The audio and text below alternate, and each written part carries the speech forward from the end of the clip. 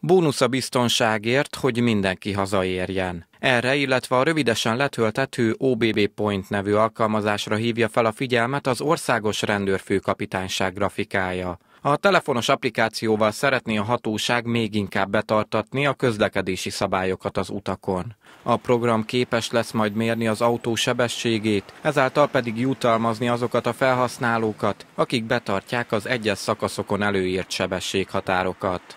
A kulcs szó a jutalmazáson van, az applikáció ugyanis arra nem lesz alkalmas, hogy büntesse a sofőröket. Térkép alapú a szoftver, GPS koordinátákra van szükség ahhoz, hogy meghatározzuk az éppen használó hol tartózkodik, amikor közúton közlekedik és az általa vezetett jármű sebessége a 40 km per órát meghaladja, a program automatikusan működni kezd. A térkép alapján azt tudjuk, hogy hol tartózkodik, milyen útvonalon, és ott mekkora a megengedett sebesség, és hogyha ez húzamosabb ideig megtartja, tehát tulajdonképpen szakasz sebességet mérünk, akkor pontokat írunk jóvá a felhasználó számláján, ami folyamatosan gyűlik, ezeket a pontokat a későbbiek során pedig levásárolhatja a programot támogató partnereknél.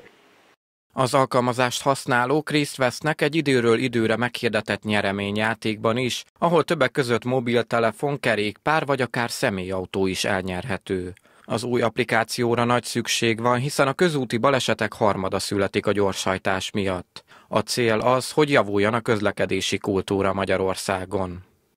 Sajnos évről évre visszatérően a legtöbb közlekedési baleset a sebesség túlépés, illetve pontosabban a sebesség helytelen megválasztása miatt történik. Ez több mint 30 százalék. Ez ügyben még szerintem van mit tennünk, de legtöbbet maga a közlekedő tehet. Mi a magunk eszközeivel ennek megpróbálunk gátat szabni, de ha a járművezető úgy ítéli meg és túlbecsüli saját képességét, vagy esetleg a gépjárműnek a képességeit, és a megengedett sebességgel többel halad, nagyobb a baleseti kockázat. Én azt gondolom, hogy közlekedési kultúráról akkor beszélhetünk, hogyha tiszteletben tartjuk a másik közlekedő jogait a közlekedéshez. Mindenkinek az a célja, hogy épségben hazaérjen, és reméljük, hogy kevesebb közlekedési baleset történik.